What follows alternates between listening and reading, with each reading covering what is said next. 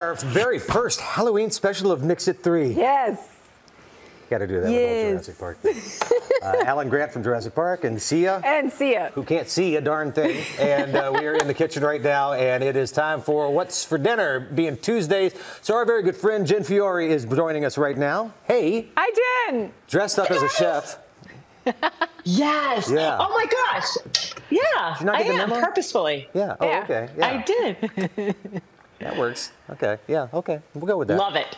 However, you're bringing us good food. That's what we always Oh love. my gosh. And I love This the fa- is Go ahead. this is a this is a comfort food extravaganza. I love the fact that this is a comfort food that is really not. It's usually not gluten free, but you've got it this way. It happens to be It happens to be. gluten free. Gluten free. Yes. What are we making today, Jen? So we're gonna do this pot pie, but I really want to preface this by saying this is very easily made gluten, glutinous, I should say.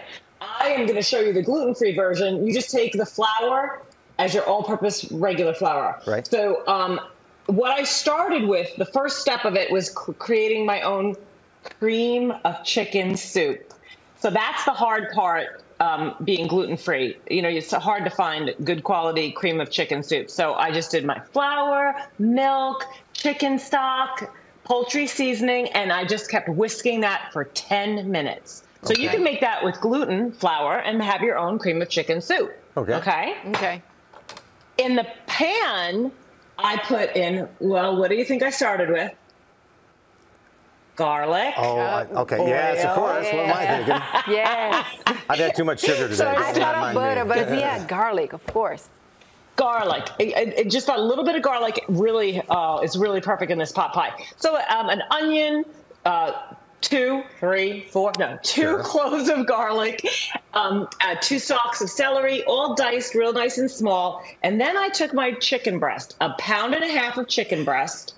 And I uh, chopped that really, really small. So I don't know if you can see. It's really little tiny diced pieces in here, okay? Vampires will Cook not like this up. dish. Yeah, for today's recipe, you might want more garlic.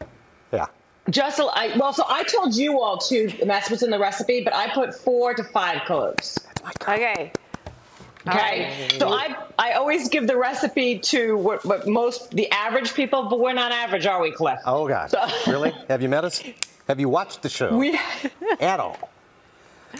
Keep going. oh my gosh, I know. I can't even I can't even keep the smile off of my face. So, in true Jen form, this is an easy mixed vegetable. You can get frozen, but there's one little caveat I want you to do. I want you to pull out the lima beans. Not because we don't love them, we do.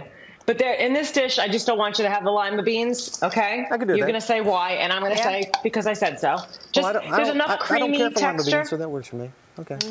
Oh, oh, we'll change you on that. Oh, but, the- but today you lucked out. All right, So good. you're gonna mix the um the frozen vegetables in there. You're gonna put a teaspoon of salt, two teaspoons of dried parsley, and two tablespoons of your flour. Again, you can use all-purpose for the gluten eaters, gluten-free people. Make sure you have the gluten-free all-purpose flour.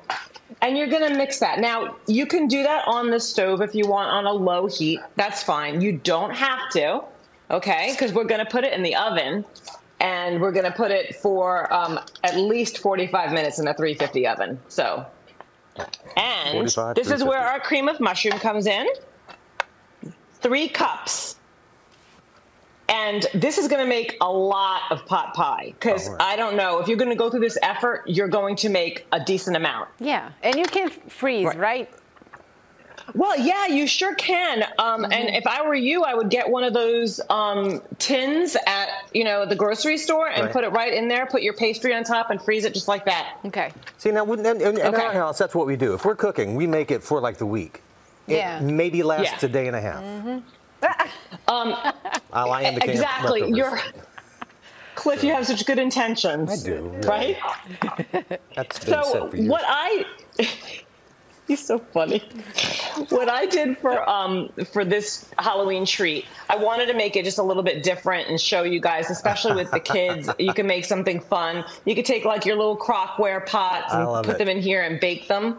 I thought that was fun. For for the real parents, the real eating, go right into your pan, your pie dish. Just go right into that bad boy. Scoop a generous amount in there.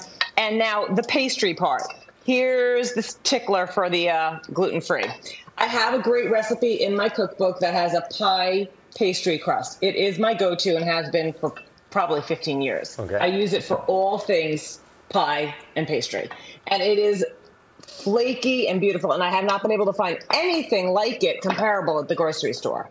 I do believe there are things at the grocery store for gluten free. I just don't know. Obviously, gluten eaters, that's easy. Right in the refrigerator section near the butter, Okay, right? yeah. You have this. So you're going to see this entire recipe can do two of these little um, crockwares and a pie dish or two pie dishes, okay? But we want to be fun and, and creative. And for Halloween, we did a little jack o' lantern.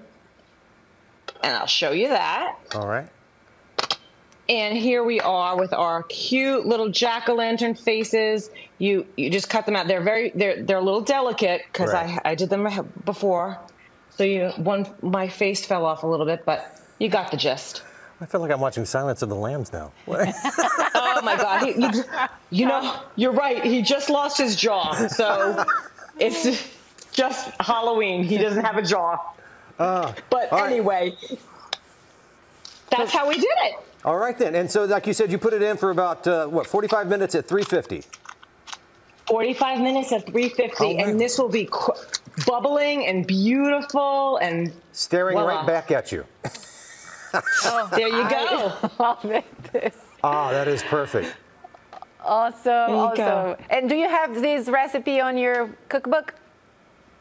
Um, these recipe this one's not in the cookbook but it will be up on my website and um, you could just click on the tab that says uh, seen on your show so Perfect. JenFiore.com. Happy Halloween, Jen. Thanks so much. Yes. Thank you. thanks guys have a great day